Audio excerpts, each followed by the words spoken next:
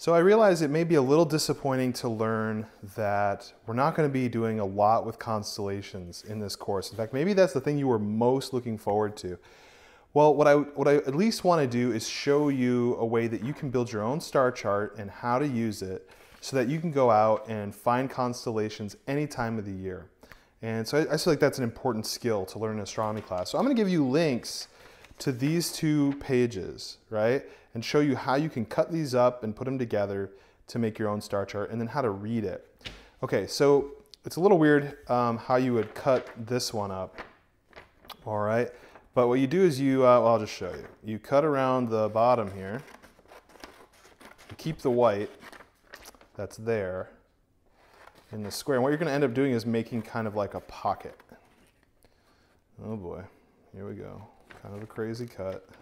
And we follow along the curve. And you'll notice as I'm cutting this that those are all times, like I'm seeing here 10 o'clock, 11 o'clock, midnight, right? And um, so what's kind of interesting about these star charts is you got the time on one side of the wheel, and you'll notice on the other side of our wheel, we're gonna have like the date.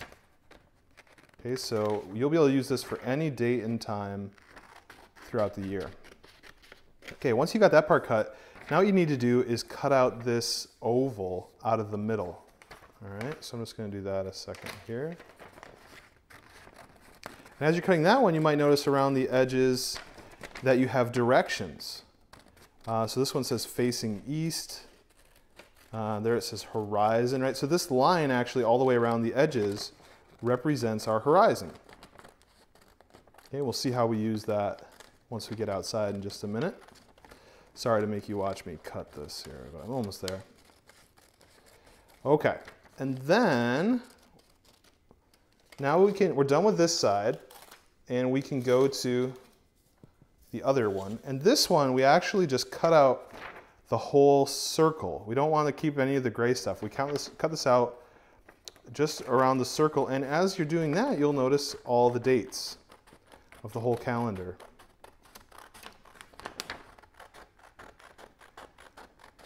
Now I should note, just while I'm cutting this, that this particular star chart is printed for northern latitudes in the United States, or really anywhere in the northern hemisphere. So you would actually need to use a different star chart if you were way north or way south or way um, or near the equator.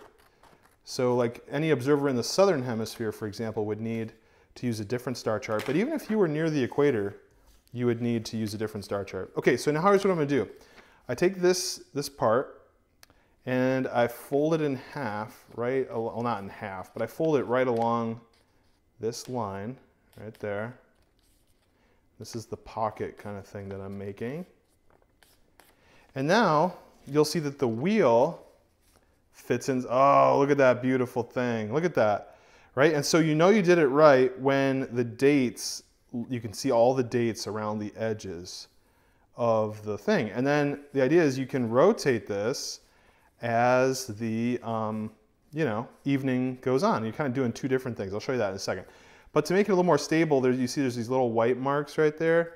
That's where we can staple it. So I'm just going to see if I got a stapler here a second. I do. So let's staple it, and then we'll actually see how this thing really works. Alrighty. Oops. Oh no, I did what I'm not supposed to do. I accidentally stapled the wheel. See that? So I got to make sure that, uh, I got to undo that a second. Don't want to staple the wheel, otherwise it doesn't work. You can't turn it. Okay. So I'm just to staple the actual holder. There we go. Okie dokie. So let's take a look at how this thing, how this thing works. First of all, is just how to hold it. Like how do you how do you read what you're looking at, let alone setting it for the right date or time? Just how do you even read this thing? So let's go outside and see if we can't figure that out together.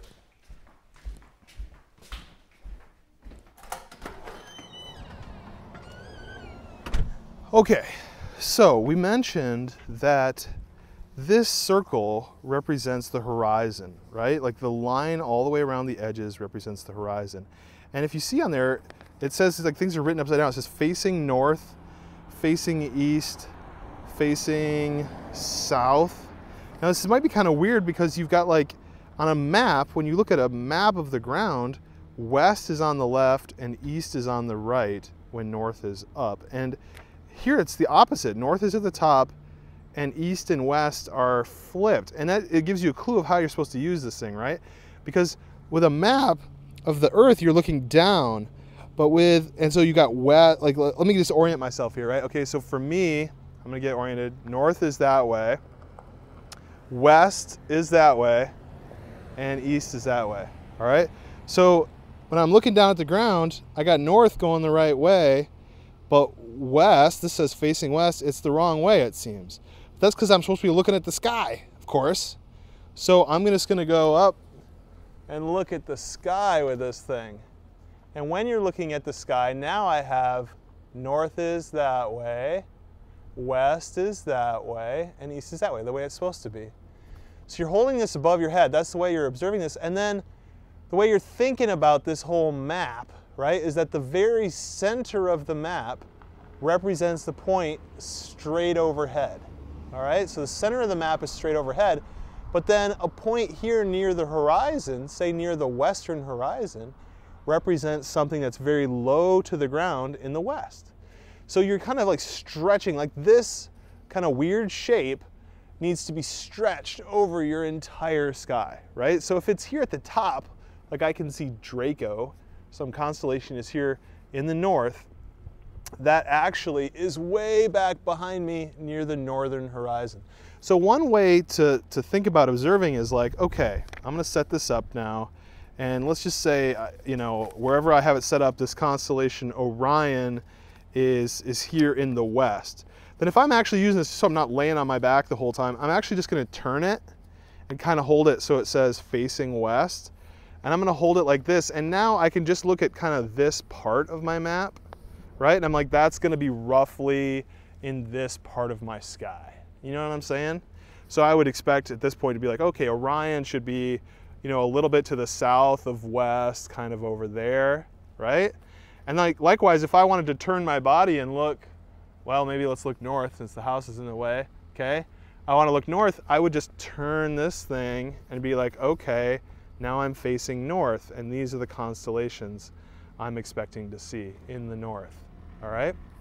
Cool, so now we can talk about, let me set it for today, right? So when I'm making this video, it is October um, like 10. Okay, and I can actually set this for what time it is right now, which is, uh, well, you notice the times here are all like nighttime, obviously, and I'm out here in the daytime. So if I were to set it for tonight, I might say tonight at 10 o'clock right? So what I do is I line up the date and the time that I'm interested in. And I could set that for nine o'clock or 10 o'clock or whatever time I want. But when I set October 10 at 10 o'clock, okay, that's what I'm interested in. And this is what the sky is gonna look like tonight. So um, if I was curious then, all right, what is rising, right? Um, uh, rising in the east, right? At, at 10 o'clock tonight. I would look towards the east where I see the noisy truck and I would be looking at my map here and I see that the bright star Capella and another bright star Aldebaran are both rising in the east. Okay, so you see like this is what it boils down to to learning constellations. I mean, honestly, most professional astronomers never really learn very many constellations. The amateurs are the ones learning it. And the way I learned constellations was actually by working in a planetarium as, as a college student, where I had to go out and I had to, I had to take star wheel like this, and I just had to kind of like practice looking up at the sky and saying, oh, there's, oh, I can see kind of the pattern. There it is, and I can see it in the whole sky. So it takes that kind of not only practice, but it really takes seeing it on the sky in order to learn these constellations. So you're not actually going to be expected to learn very many of these constellations in our course, but if it's something you are excited and passionate about, this is the only tool you need. You just got to go out and practice in the night sky, see those constellations um, for yourself. All right, so I just got up at 6.30.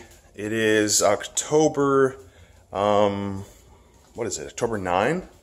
And it's still dark outside. So I thought this would be a good chance for us to take a peek at our star chart. I've got it set here to October 9 at about 6.30. It's pretty close. And um, if we take a look at it, we can see that in the south, kind of the southwest, I should see the constellation Orion.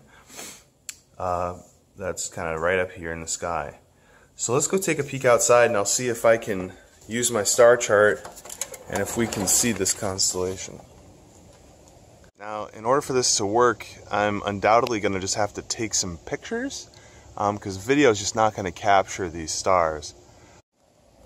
Cool, so when you see these pictures, you can see really what my eye is seeing, which is that um, the pattern of this constellation, like the three stars that make up its belt and its sword, um, really match what I'm seeing in the star chart.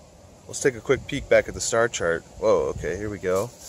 And um, Orion has these three stars, and it's got, uh, and of course the size of the star shows how bright it is, right? And so I can really see that pattern on the sky, but what looks so small in this star chart is actually really huge, huge on my sky. Right, so there's a picture again just to see what it looks like um, on the sky. All right, that's pretty cool. While I'm at it, let's look at one more thing, right? Because as I look at uh, as I look here at my star chart, here's Orion, and if I look further to the west, you can see this little cluster of stars. It's called the Pleiades, and I can see that with my eyes right now. Let's see if I can capture a picture of that. So I'm, I was looking uh, south, and now I'm just going to kind of look towards the west, and now I'm going, I'm going kind of up. Right here's my deck. I'm going kind of up, up, up, and yeah, I can see it with my eyes. So now I'm going to take another picture so that you can see it cool. And you can see that this, this Pleiades is just this tiny little cluster of stars. It's like seven or eight stars that are close together. All right. Okay, so I, I wanted to take this outside just to give you a chance to sort of see what it looks like when you're putting this up um, up against the sky. Again, it'll work much better with your eyes than I can do it on this camera. Um, but again, I just, I just want to show you. All right, have fun looking at the sky.